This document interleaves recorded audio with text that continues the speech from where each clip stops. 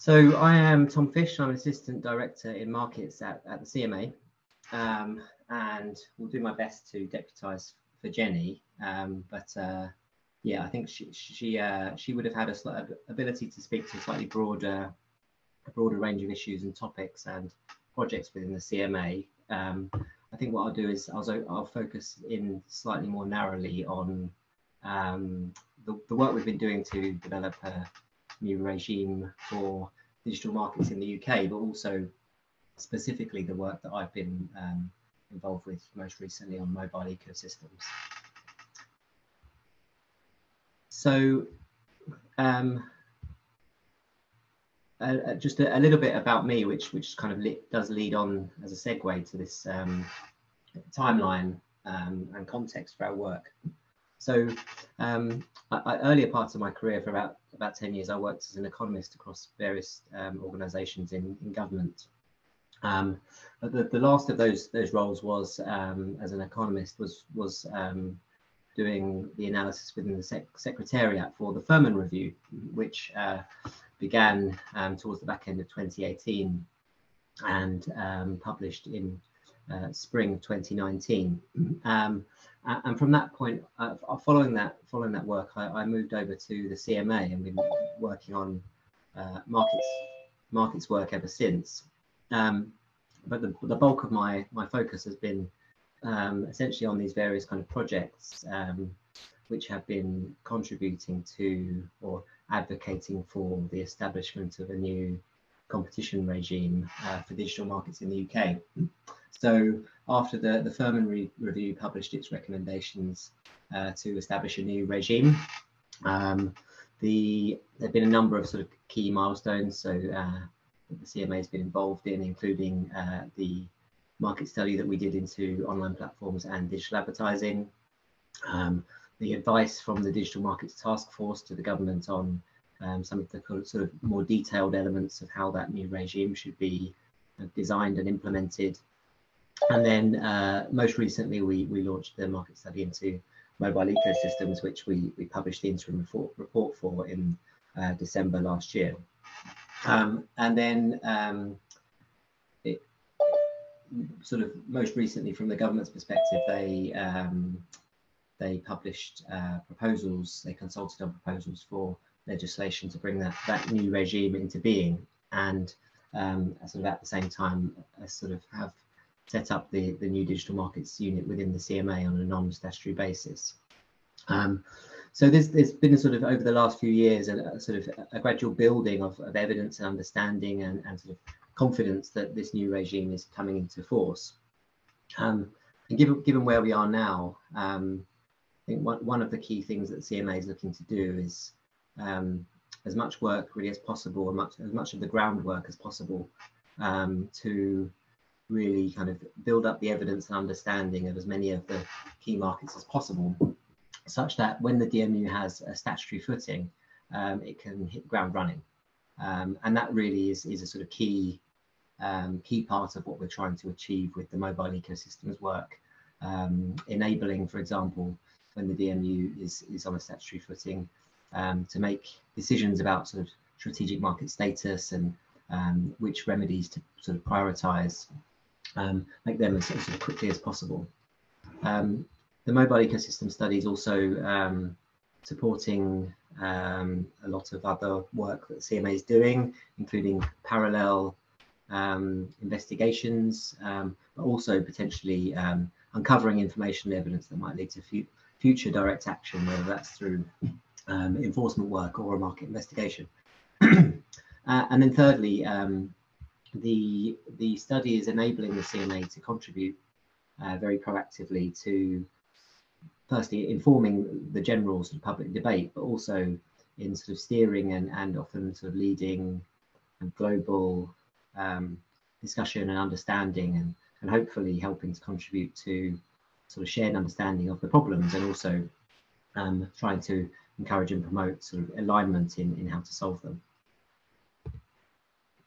So in terms of the um, the the market study and, and how we've approached it, um, in, in, the CMA's work, we're always sort of um, keen to to make our analysis and our, our recommendations as sort of robust and evidence-based as possible. Um, so this um, this uh, is often built upon our strong um, information gathering powers, which we've made uh, strong use of within this market study.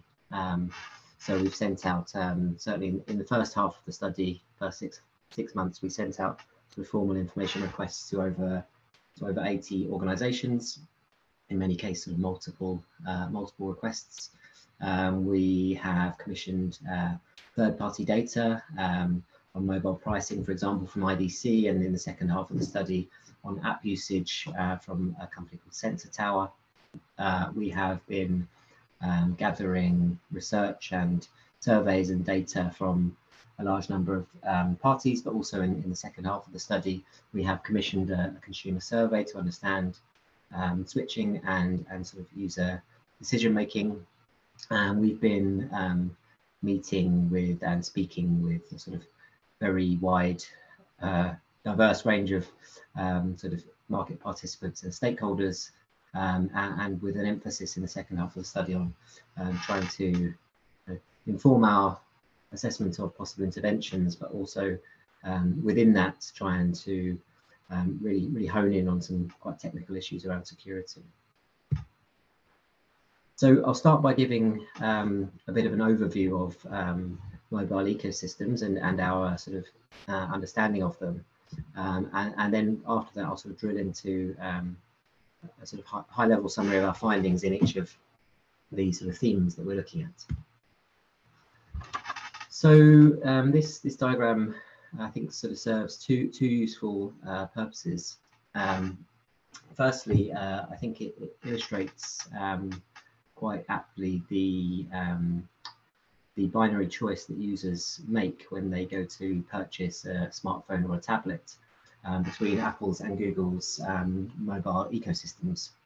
And whether it's a sort of knowing or conscious decision, um, it's at that point that they they sort of go go sort of reach a fork in the road and, and make a decision about sort of various other products and services that they'll also be consuming uh, further down the supply chain. Um, the other thing this diagram sort of illustrates essentially is, is the reach and scope of our study. Um, and we are uh, kind of breaking our analysis of, of, of all of these um, different squares into uh, four themes. So uh, theme one is uh, an analysis of uh, competition in the supply of devices and operating systems.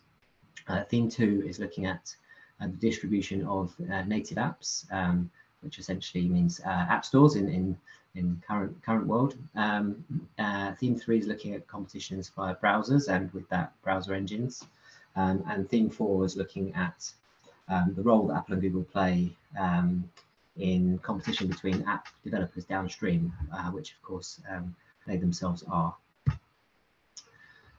So one, one of the really kind of critical things that we've had to get um, a handle on within this study, and that cuts through um, a lot of what we um, a lot of what we've been thinking about um, is the fact that um, despite um, perhaps from a consumer perspective, um, Apple and Google's sort of set of uh, products and services appearing on the face of it quite similar.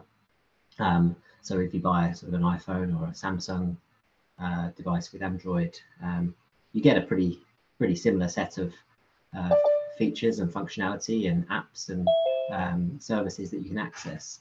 Um, but from a sort of business model perspective, um, Apple and Google's uh, ecosystems are run very differently. Um, and this, this links to um, their, their differing incentives uh, they face. Um, so Apple, as, as everyone's aware, is, is primarily a devices business, uh, primarily making its money from iPhones. Google is an advertising business, uh, making the bulk of its money from uh, search advertising. Um, and this uh, leads to them having um, quite contrasting incentives in a number of areas. One being um, around the uh, incentives to sort of discourage users switching between uh, between different um, devices operating systems. Apple only makes money from Apple users, and so uh, has strong incentive to um, discourage people from uh, moving away to Android. Whereas uh, Google really does make um, money from practically everybody, so um, is sort of ha has has less of a worry about uh, about consumers switching over to Apple devices. Um, linked to that, Apple really has some sort of limited incentive to do anything that might um, enhance or improve the quality or experience of an Android device, um, whereas Google obviously sort of um, has, has less less to worry about there. Um, and I, I think uh, finally one of the key key differences is around the incentives to try to steer um, the sort of access of content either through uh, sort of the environment of a controlled native app versus um, the open web. Um, Apple very much um, incentivized to um, kind of yeah steer users to using um, native apps that they download through the App Store, and Apple makes um, a tidy sum from. Whereas Google, although that applies to some extent, Google very much benefits from information being on the open web and, and ultimately searchable.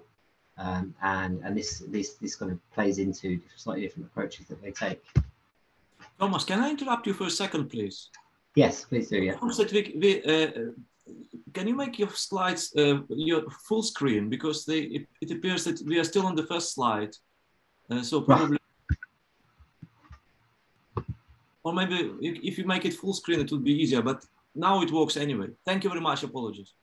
So what? What? So the, the, I, I I was seeing it full screen. So um, apologies. So I was um I was seeing it full screen. Uh, have you caught up on the? I I don't really get to see what you're seeing. So um, it's it's. We now see the uh, slide with ecosystem openness with three with three columns. Apple and Google. Okay, you've caught you've you've caught up then. So um, have you been on, on the first slide that entire time? Yeah. okay. Um, apologies for that. um, so, so um,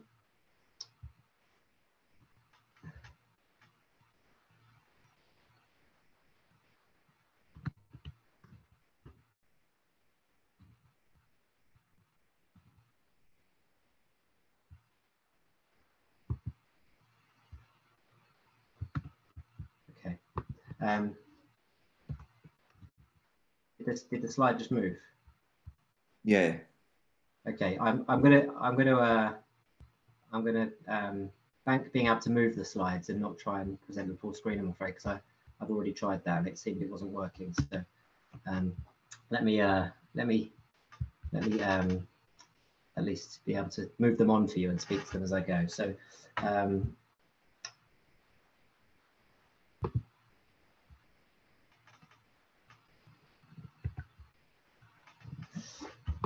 So um, yeah, so I, I, was I was speaking about the um, the differing incentives, um, and this was the the slide the slide I was speaking to. Uh, essentially, this the slide um, sort of illustrates that uh, the different sources of revenue um, that Apple and Google each face, um, and how that and I was explaining how that that feeds through into having very different incentives, and and ultimately leads to the decisions that each firm takes in terms of the sort of slightly differing um, levels of openness with regards to their ecosystems. Um, so as a result, uh, Apple um, has iOS that is um, essentially tied to Apple devices, uh, neither being sort of available without the other, um, whereas Google uh, runs Android on an open source basis and allows it to be forked. Apple allows uh, native apps to be uh, accessed through its app store um, and, and no other source, uh, whereas Google allows alternative app, app stores and sideloading. Um, with regards to browsers, um, all browsers on Apple devices, Apple mobile devices, I should say, are, are built on WebKit. Um, whereas uh, alternatives um, to Google's uh, uh, browser engine are allowed on Android devices.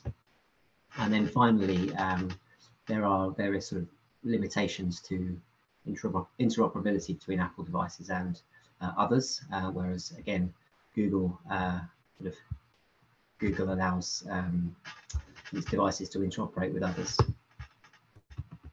Um, and then, and then just sort of final thing on the overview, just to say that um, whenever we're considering um, like ultimately um, the value of inter intervening in any particular market, um, we bring we bring it back to an assessment of consumer welfare, um, whether an intervention could um, could lead to an increase in consumer welfare as a result. and there are a number of ways in which we're assessing sort of what is ultimately at stake for consumers with regards to uh, weak competition uh, between mobile ecosystems. Um, firstly, I think most importantly, though, they're probably most difficult to uh, evidence is um, the, uh, the, sort of the concern that users will be missing out on uh, valuable uh, innovation. Um, there is the likely uh, outcome that weak competition leads to uh, users facing higher prices, whether that's for devices that they purchase or uh, apps that they subscribe to.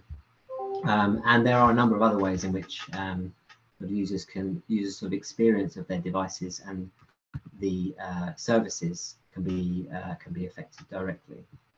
Um, one other important uh, thing to note here, really, with regard to um, sort of user outcomes um, is it's, it's, sort of been been sort of raised with us uh, in a, number of number of ways that sort of, uh, there are um, a range of potential trade-offs uh, for consumers uh, if in terms of competition um, potentially being traded off with um, users security privacy and safety online um, and it has been put to us that um, in, in some respects, in, enabling com greater competition could lead to worse outcomes in some of those areas. Uh, and in particular, um, uh, Apple refers to these uh, issues as uh, as justifications for a number of uh, the restrictions that it imposes on competition within its ecosystem. So moving on to um, sort of theme by theme assessment, which I'll, I'll try and rattle through um, relatively quickly because there's a lot of potential material to cover.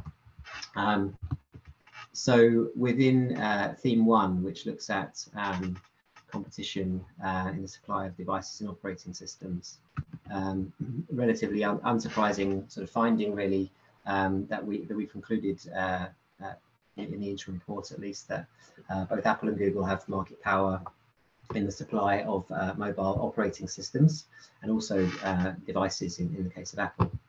Um, and the, the kind of key reasons for that are, um, firstly, we, we concluded there's, there's sort of little constraint provided by competition between Apple and Google, largely down to a lack of switching, uh, which we, we explain in part by some material barriers to switching.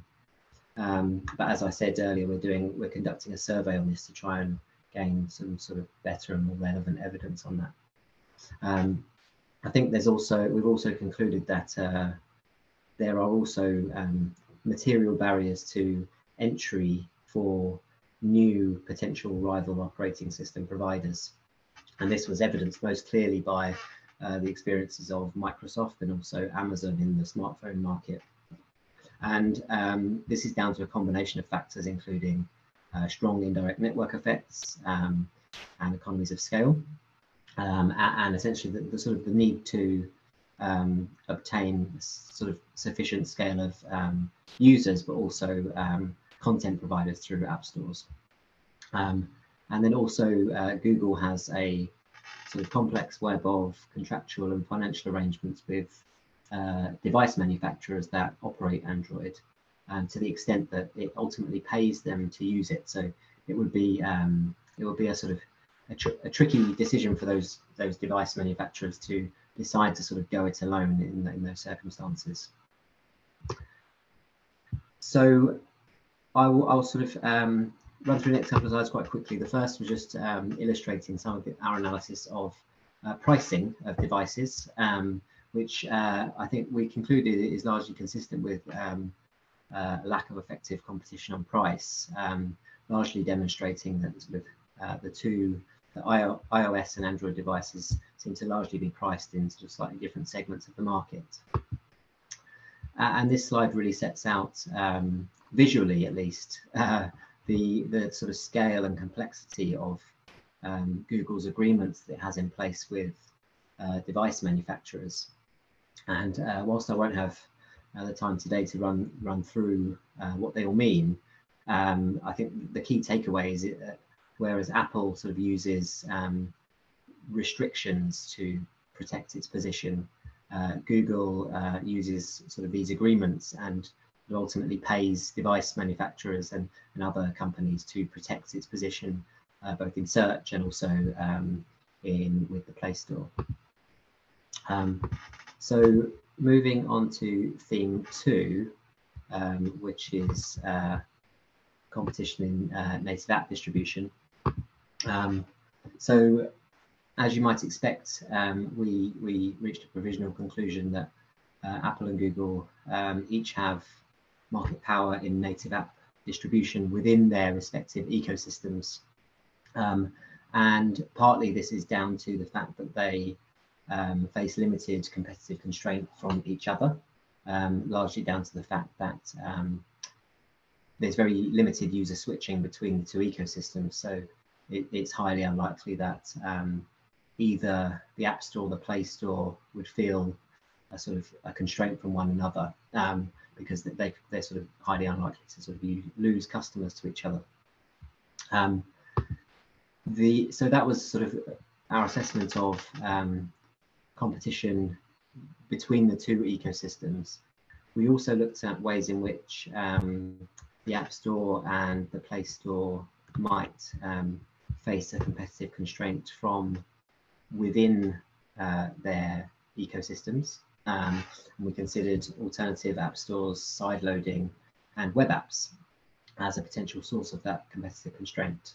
Um, the, the story was relatively simple for Apple. Um, it doesn't allow um, alternative app stores. Um, it doesn't allow side loading, and it has a number of restrictions in place for um, browsers on iOS, such that it, it, it renders web apps largely ineffective or inoperable.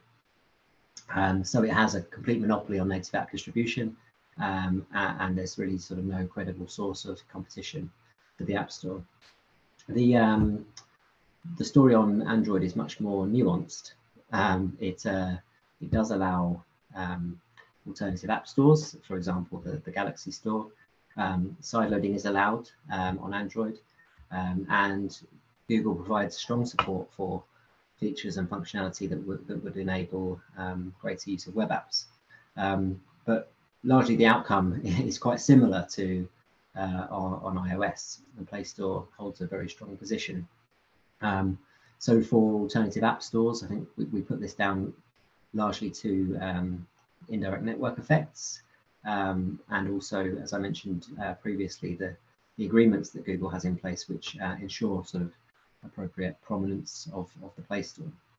Um, with side loading, um, clearly it's a, a, a, sort of an approach that, that users are, are not that familiar with, but also uh, Google has in place some um, friction in, in the process that, that makes it um, quite an unpalatable option.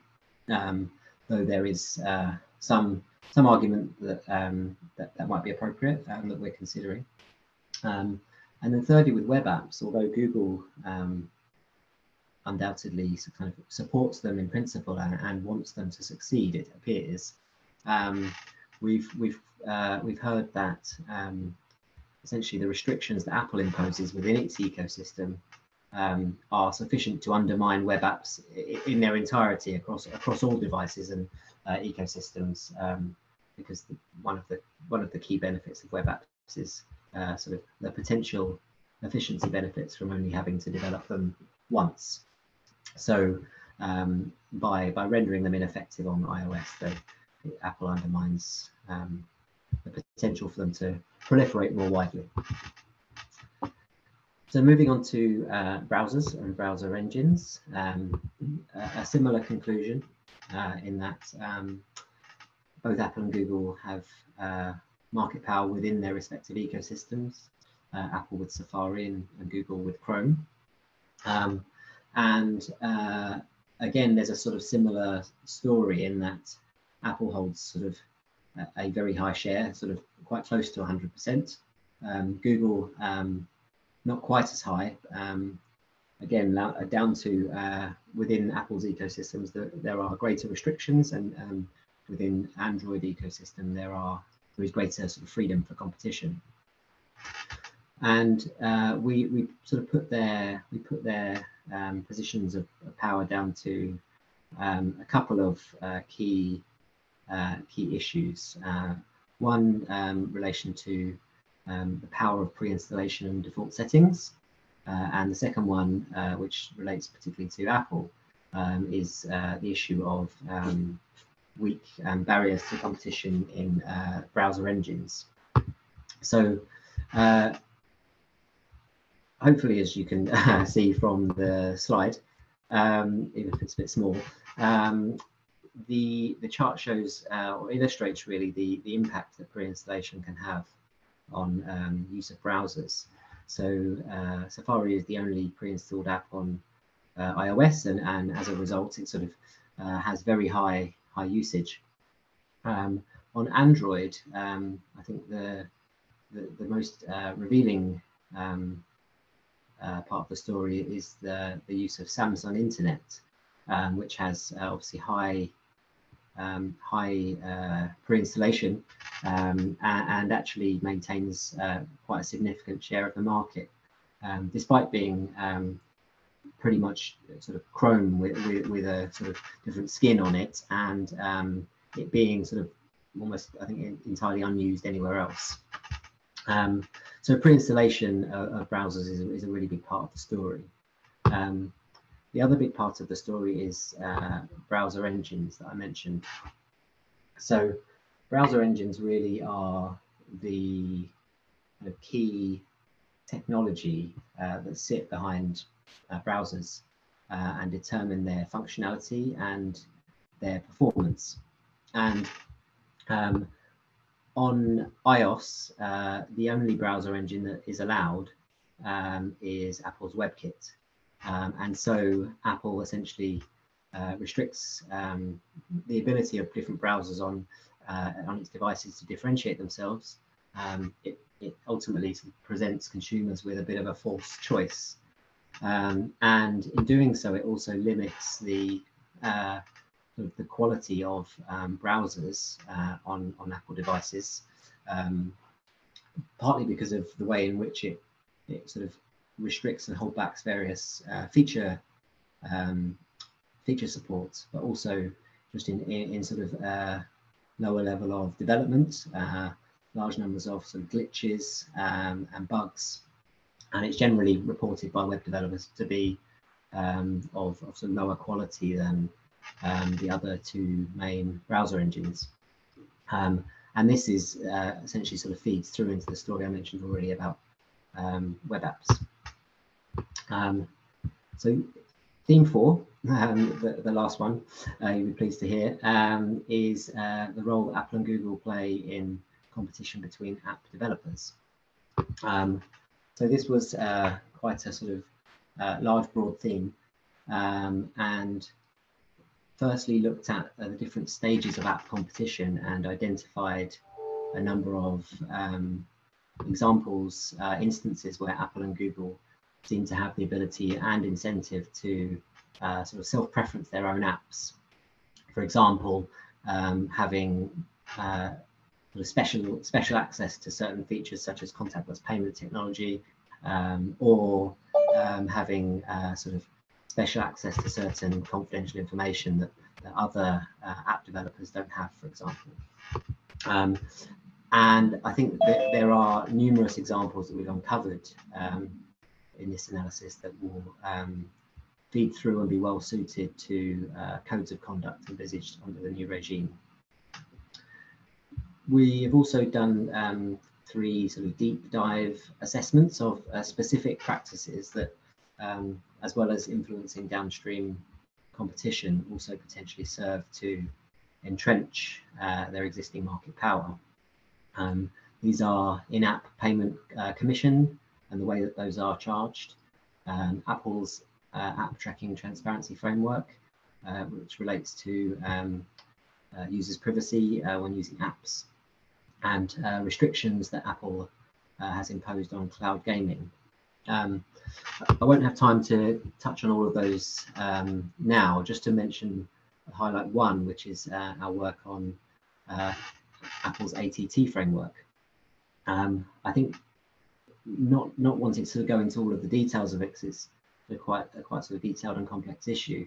I think what we're draw what we're drawing out within this work, um, and also some of our other work regard, for example, uh, Google's Privacy Sandbox, is that uh, data protection law really does not provide a shield for um, large digital firms uh, to um, implement sort of anti-competitive practices or to uh, provide themselves with, a, with an advantage over smaller smaller companies.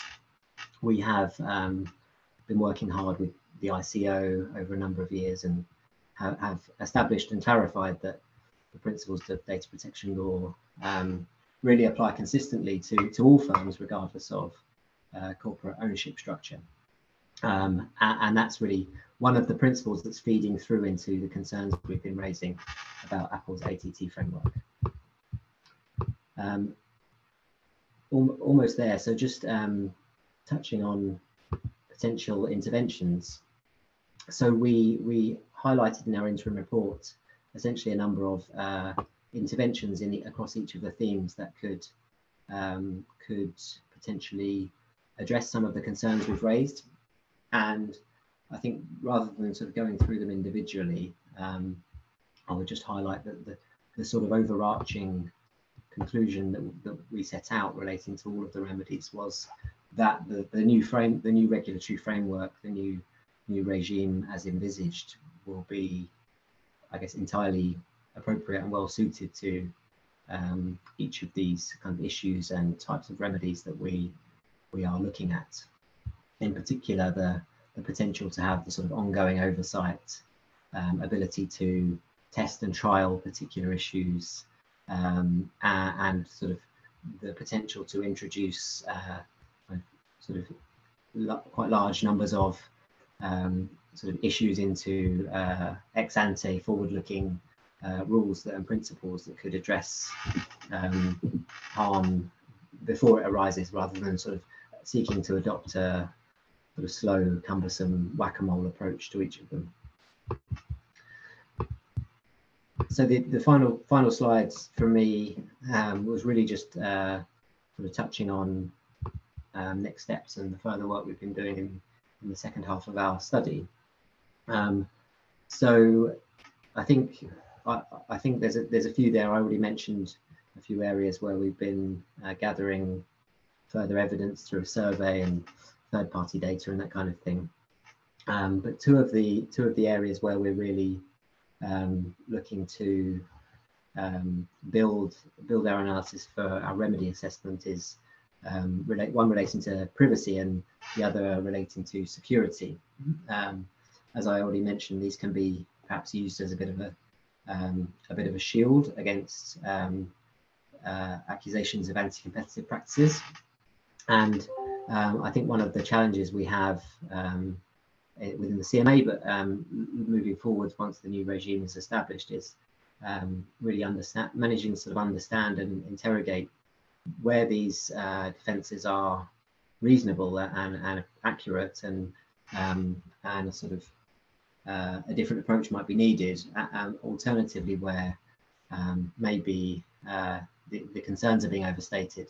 Um, and with regards to privacy, I think our, our main um, our main approach here is, as the, the, work I already mentioned earlier with um, with the ICO, to really understand what data protection law really does and does not require of uh, firms such as Apple and Google and Facebook and others.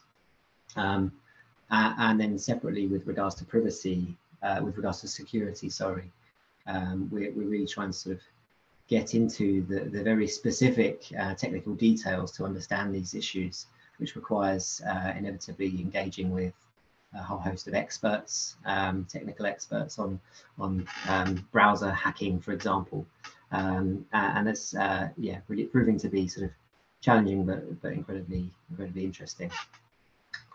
Um, I think that just leads me to say really that um, we are yeah very much in sort of the, the, the final stages of our study. We're publishing our final reports um, in the first half of June. Um, so going into sort of draft drafting mode now and really finalising finalising our thoughts and our findings.